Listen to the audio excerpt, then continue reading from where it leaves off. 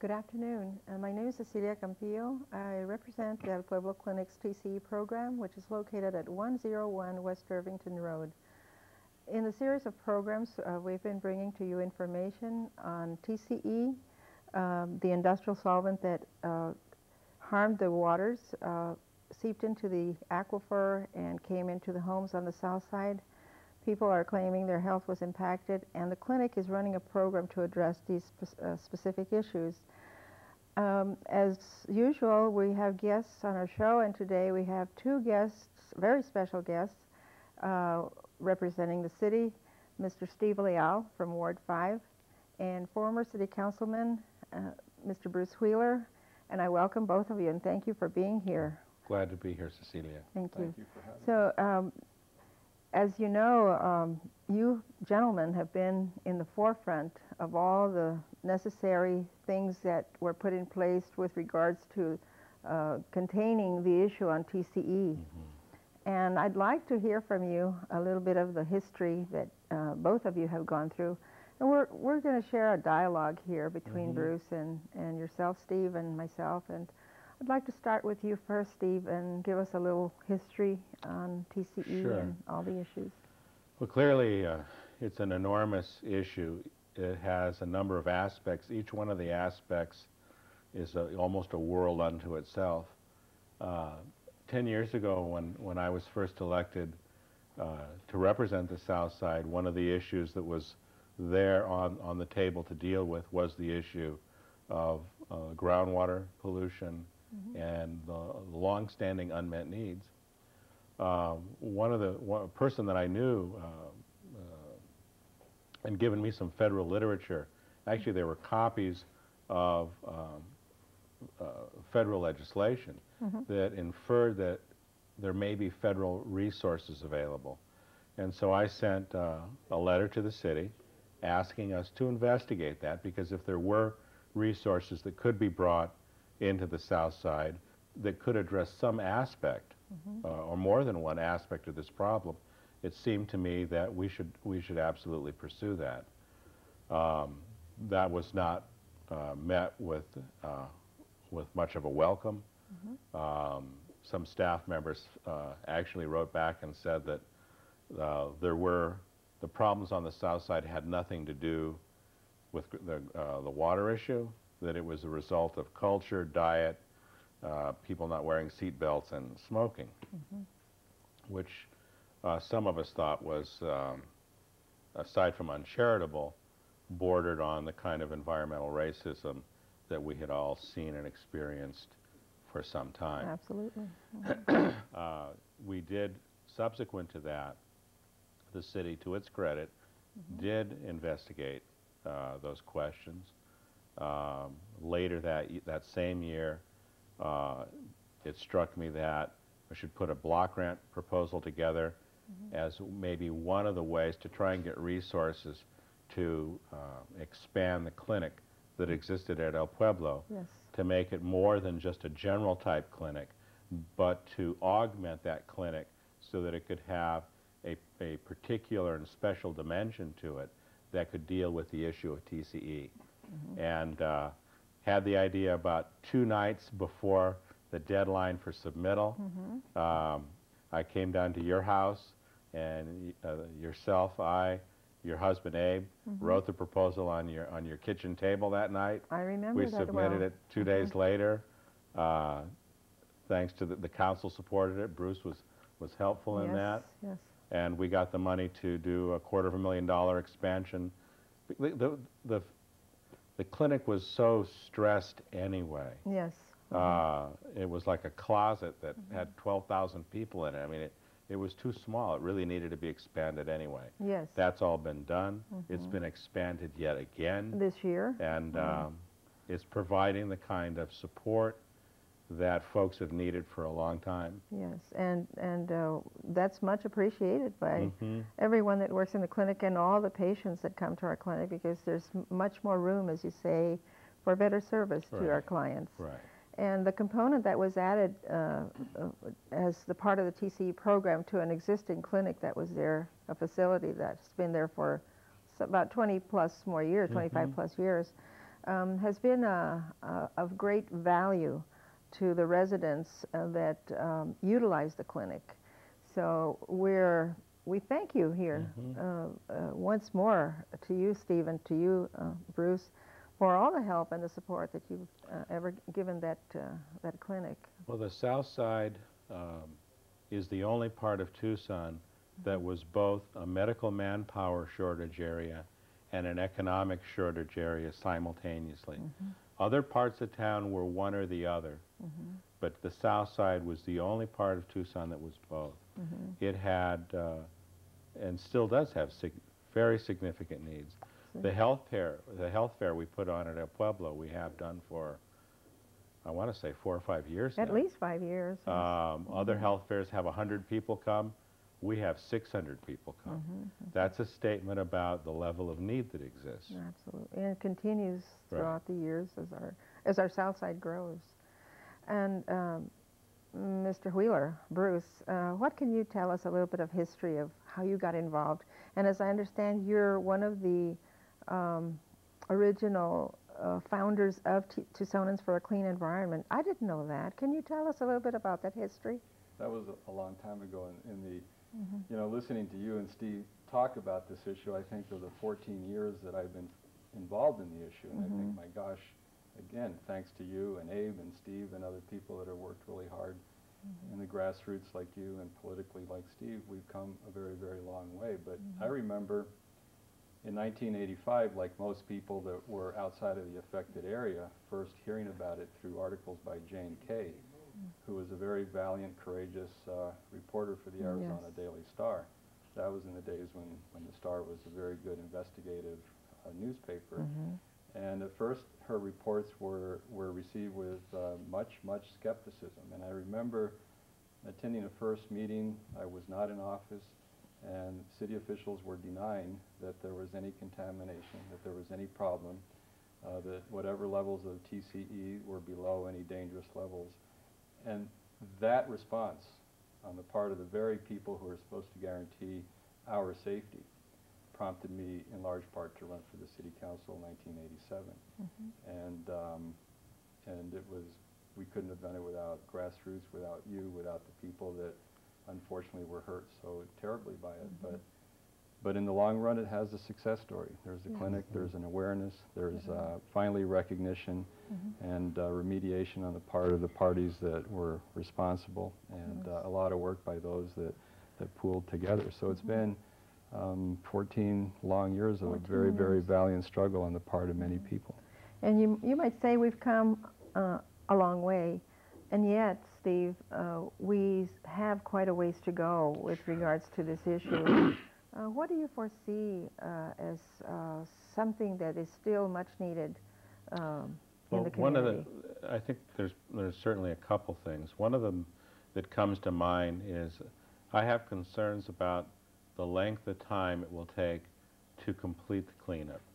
I think that um, folks having to live with that sort of veil over their lives, even though the water they're getting, there is not a problem with it with regard to TC, but just the fact that I think there's a kind of a, a psychological burden that comes from, from dwelling for such an extended period of time within a Superfund site. Um, three or four months ago, I saw a program on the Discovery Channel that was uh, an examination of some tech- technology that is a, uh, a way to modify pump and treat, where they actually uh, take steam and inject it into the ground, and it and it dramatically hastens the rate at which stuff comes out.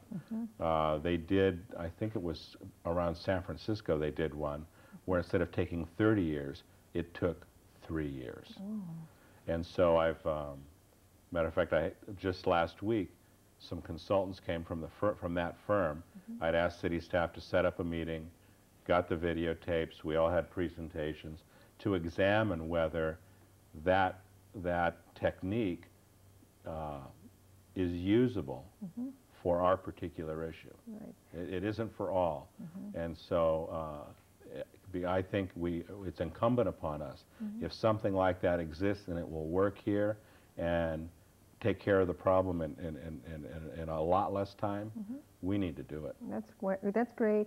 And as you know, the Air Force and uh, Raytheon Hughes has been taking part in some of the cleanup. Mhm. Now, is this technology that you're speaking of? Um, it sounds like a little bit different than what they're currently using. It would be done in conjunction with what's, Oh, I. As I understand it, it's something you would just add on to what they're doing. I see. And uh, it would Shorten just all happen, it would shorten the time. Shorten the time. That's that's very good I'm going to be. Mm-hmm. putting it on the agenda for the mayor and council because I want the council to see the presentation. In what area of, of uh, what area of the contamination plume is that technology going to be used, or Well, we, we don't know you whether, don't know? it needs to be determined that it actually makes sense for this particular problem. I see. hmm So you'll probably be doing some pilot testing before you put it to great use, if it's approved, of Right. course. Uh-huh, that's great. The state-of-the-art technology issue has always been at the forefront of the council's efforts. I remember you do the, uh, the effort to put, at the time that we put the filters in, the air filtration system, that the, that we use carbon filters, and Right. it co- I remember the arguments against it, that it costs more, that it hadn't been tried extensively enough, but we persevered, and it was put in, and at that time, that was state-of-the-art, so it's, it's refreshing to hear that, that we're still, as we, as we continue the process of cleanup, that we stay up, pushing the envelope toward that, uh, that level of technology. And those, and those filters that you're talking about turned out to get full quicker than anyone e- even imagined. You know, you used the word courageous a while back, and it does take a lot of courage to kind of step into these dimensions that have never been explored. And I think the city needs to be commended for being in the forefront of all these uh, courageous steps that are being taken. So, It wasn't Um, always that way, though. it wasn't Cecilia, always. As you, as Tell you, us as about we that, all Bruce. know. well, as I mentioned earlier, it was very disheartening to be at a public meeting in Mm-hmm. the South Side after after the series of articles and after people complaining of and having Mm-hmm. become sick with cancer, and for the city to say that there was no problem. Mm-hmm. I mean, that was extremely disheartening. So. I won't say any more other than the fact that we've gone from there to here, Right. and it's still it's still proceeding. Right. But but there was a period when it was I don't see, I don't hear, and I won't tell. Yeah. And uh, if if we had let them go, if people like you and Rose Augustine and Myra Absolutely. Jones Myra and Jones. yes. Margaret Chumbler and others had had not pushed the issue, well, who knows how bad. And it in would fact, be. I was just going to mention uh, Rose and uh, Myra being there in the forefront of, of uh, also the community side, just never letting go of this issue and, and educating us, really, educating the community Oh, if they, and making us aware of the if, problem. I would, I would say that if, if anyone really educated me in a kind of a thoughtful, complete way, it was both of them. Absolutely. That I knew parts of things, Mm-hmm. but they really filled in the gaps and helped, helped me understand this far better than I ever did. Yes.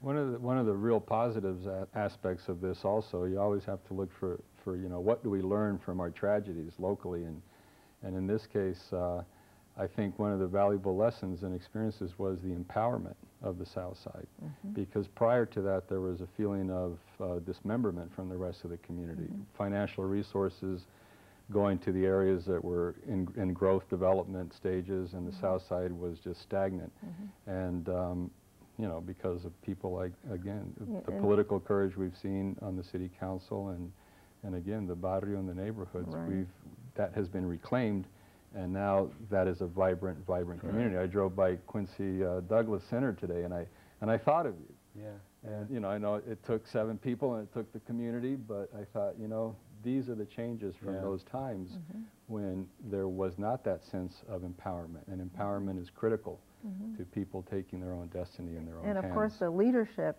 that we've had, you know, with people that care about the areas uh, repre- that they're representing at the time. Um, I know that a lot of things have happened uh, to make it a lot better for the South Side people, uh, residents like myself.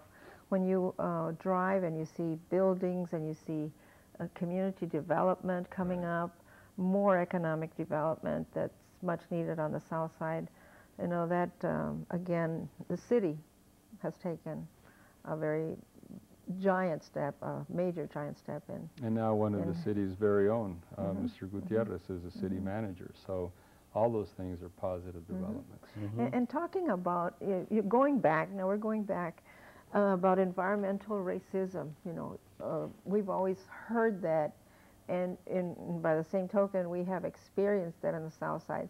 But because of the empowerment of people, we have almost done a proactive uh, step in, in changing. Do, would you agree? Would you gentlemen agree? Steve, uh, Bruce? I, yeah, I, I Absolutely. do agree with that. I think that, uh, I mean, and part of why I say that is, in the, when I came into office, there were six neighborhood associations in the South Side. Uh, we've helped organize 16 other ones to where now there's 22. They all together, the, pre- the presidents of all those associations now meet once a month. They, they send letters out and take action on various things that af- affect either the whole South Side or each other. They have uh, worked with us uh, to do two major area plans, the whole South 6 corridor and now the South 12. Uh, one of the issues that is, uh, we've uh, wanted to push, and they agree, is the issue of uh, how much industrial zoning is in the south side, and look at the proximity of it uh, to, to residential neighborhoods, uh, and that we need a way, you know, the decisions that were made, God, 30 years ago that, s- that set that up, now we live with the consequences of it, and we need to figure out how to soften that Yes. uh, because uh, the the south side residents shouldn't have to live with that much industrial zoning. And also because, would- you agree that it's because uh, at, at one point in time, we won't have anywhere else to go but south? South uh, That's large, the city. that's, uh, there's truth in that. And so the growth will naturally have to be not only industrial, but other commercial and, and other positive things that will. Right. What do you think of that? Uh, Would you agree? Absolutely, and I think, um, y- you know, we've, we've seen a reallocation of, of those resources, the empowerment we were talking about. Um, I can't think of what Steve was saying without thinking of people like Manny Herrera too. Right. There is, nothing is going to happen Right.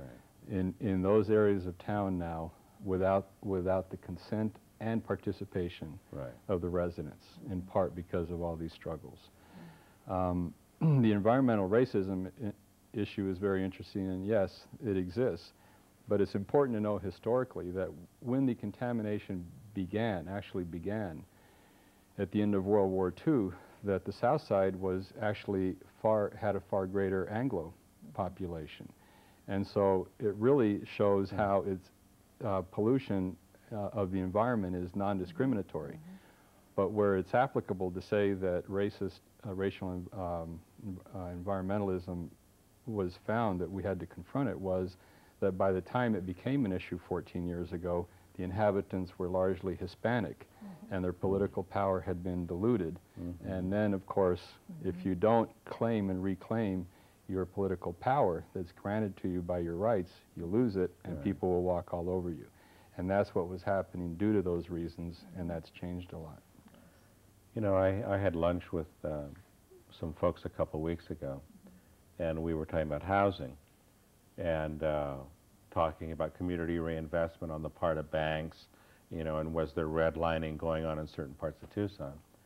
And these folks told me something that I had never, that I'd heard before, but not as coherently as they laid it out.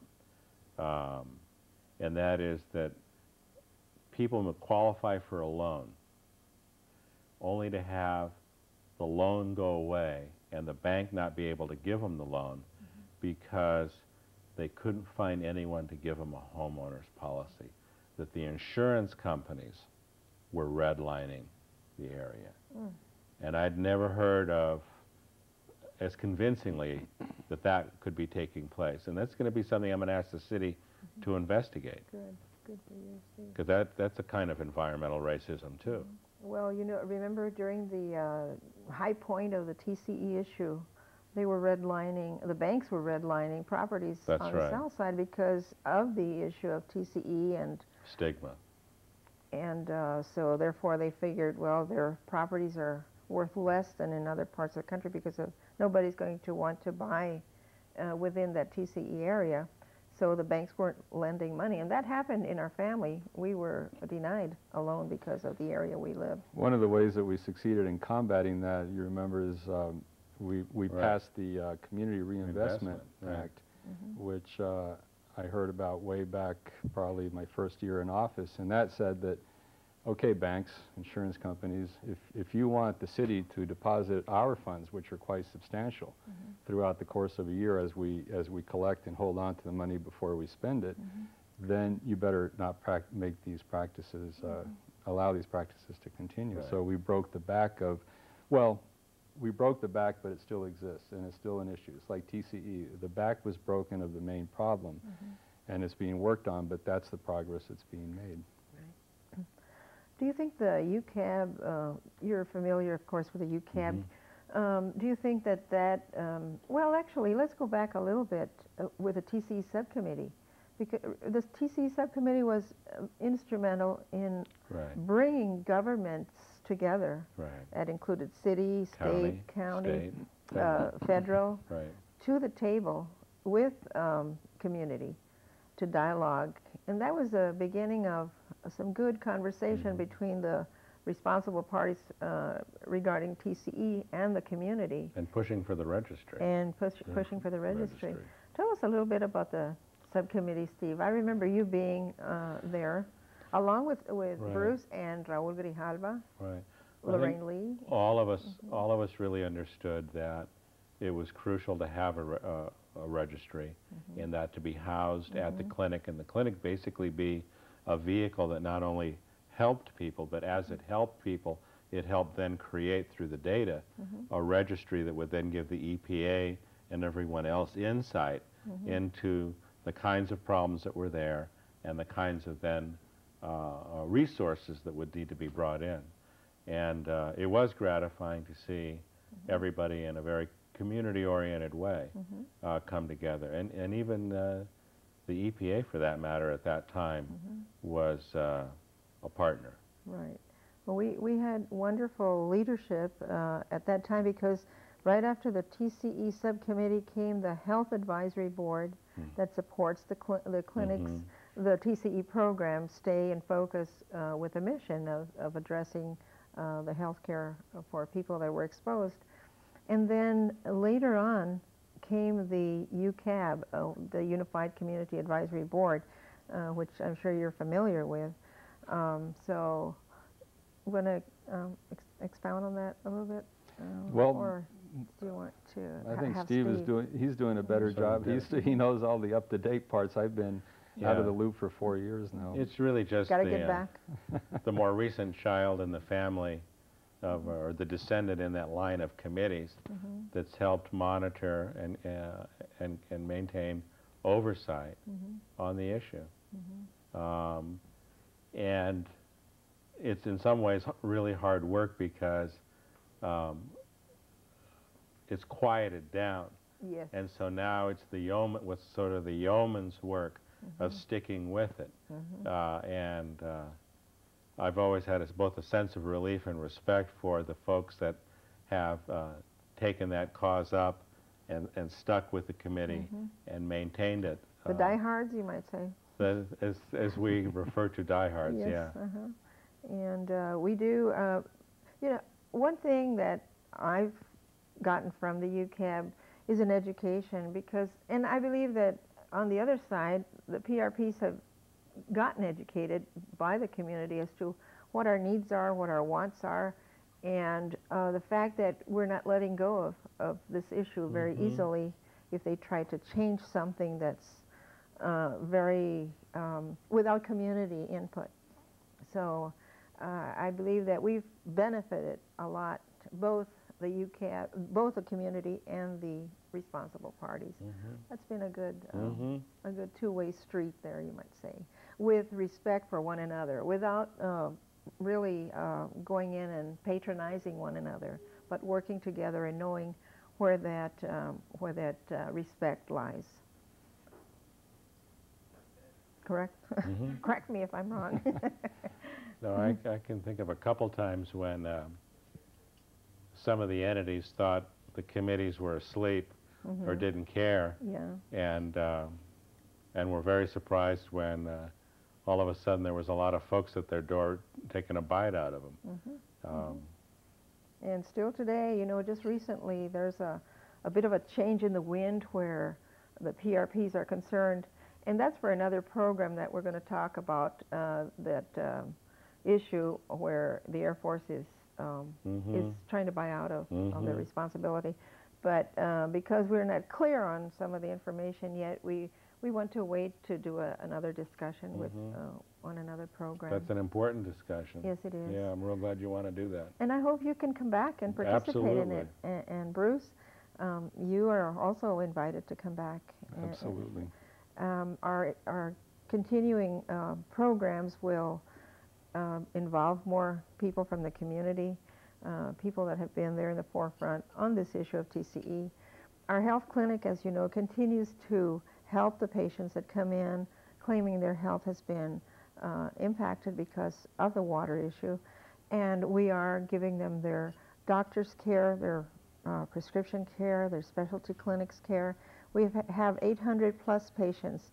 We're in our fifth year, and uh, we hope to be there for many years to come. Mm. We thank both of you for all the support that you've ever given El Pueblo TCE program, the clinic uh, it, it, as a whole, and um, I think we need to thank you. Yeah, oh, that's well, for sure. hmm And we'll, we'll all be, as long as we work together, I think we can really give Tucson a lot of uh, positives. And thanks again, Steve, and thank you, Bruce, for. Thank being you, here Cecilia. today. And we'll be back next week with another series of programs on the TCE and the El Pueblo Health uh, Center at El Pueblo Neighborhoods at 101 West Irvington. Thank you for being here today.